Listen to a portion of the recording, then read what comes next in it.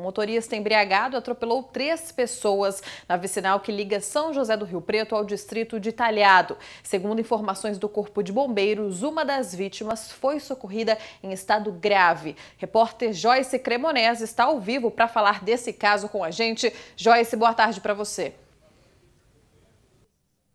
Boa tarde, Jéssica. Boa tarde a todos que nos acompanham no SBT Interior. As três pessoas estavam caminhando no acostamento desta vicinal que liga São José do Rio Preto ao distrito de Talhado, quando um motorista embriagado que vinha no sentido Talhado, São José do Rio Preto, acabou atropelando essas três pessoas. Uma das vítimas, uma jovem de 18 anos, foi encaminhada em estado grave para o hospital de base aqui de São José do Rio Preto. Hoje pela manhã ela passou por uma cirurgia e teve uma das das pernas amputada. Um outro jovem, também de 18 anos, teve ferimentos leves e foi encaminhado à UPA Tangará. Já a terceira vítima não precisou de atendimento.